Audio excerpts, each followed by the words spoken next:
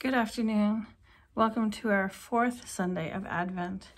Our scripture this week is taken from John chapter 6, reading verses 1 through 15. It says, Sometime after this, Jesus crossed to the far shore of the Sea of Galilee, that is, the Sea of Tiberias, and a great crowd of people followed him, because they saw signs he had performed by healing the sick. Then Jesus went up on a mountainside and sat down with his disciples. The Jewish Passover festival was near. When Jesus looked up and saw a great crowd coming toward him, he said to Philip, Where shall we buy bread for these people to eat? He asked this only to test him, for he already had in mind what was he was going to do.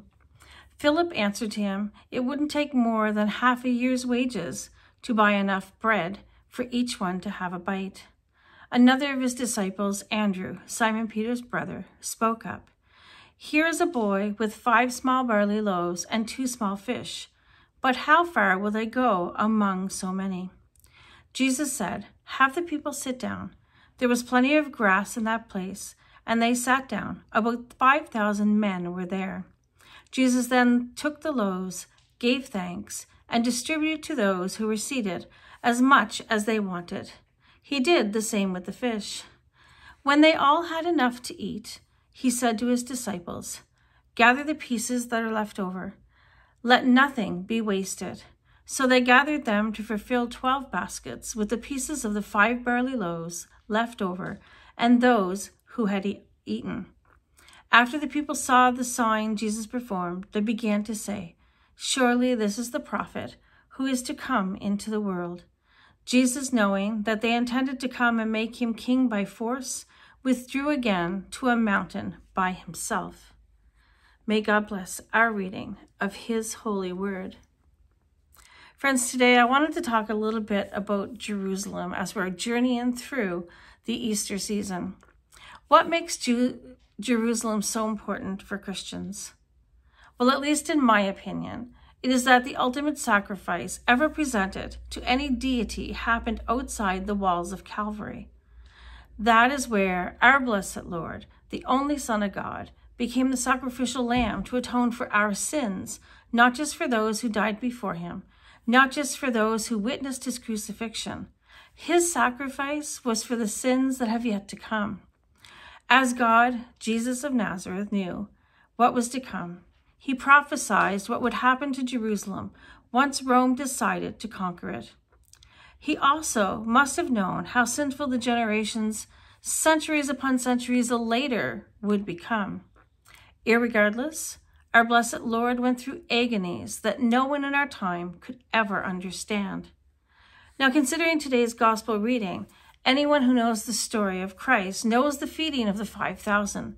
The people followed him, and Christ knew that, the th- that there had to have been hungry people there. After all, they were there for a long time. In fact, he was definitely right. The people were hungry, and Christ told his disciples to figure out how to feed them all. They come back to Christ saying that they only had some loaves of bread and some fish. Basically, they only had enough to feed maybe a handful of people, not thousands. It was then that our blessed Lord took the fish and the bread, multiplied it, and fed everyone that was there. There was so much food left over that whole baskets were filled afterwards. The people were satisfied with the food, and Christ went on his way. Now, take special notice at the end of the gospel in verses 14 and 15. It says, Now those men, when they had seen what a miracle Jesus had done, said, This is of a truth the prophet that is to come into the world. Jesus therefore knew that they would come and take him by force and make him king, and he fled again into the mountains himself alone. Taken by force. That's kind of peculiar, isn't it? So let's read that part of the passage again. When he knew that they would come to take him by force and make him king, he fled into the mountains himself alone. This is a curious passage to me. We as Christians address Jesus of Nazareth by many titles.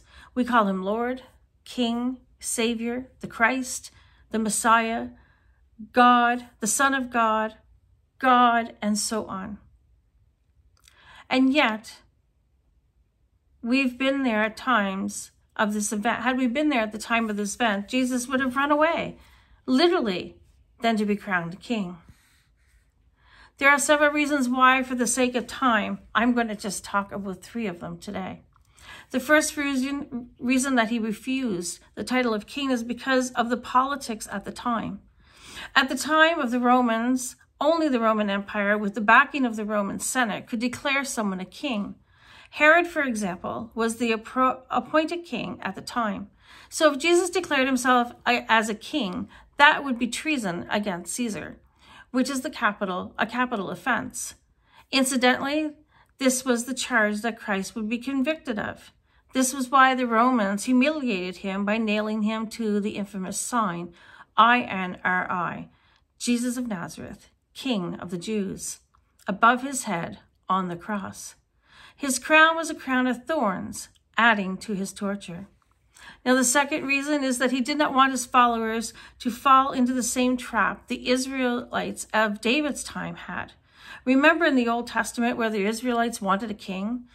It says in Samuel, 1 Samuel 8, verse 18, And you shall cry out in that day from the face of the king, whom you have chosen to yourselves, and the Lord will not hear you in that day, because you desired unto yourselves a king.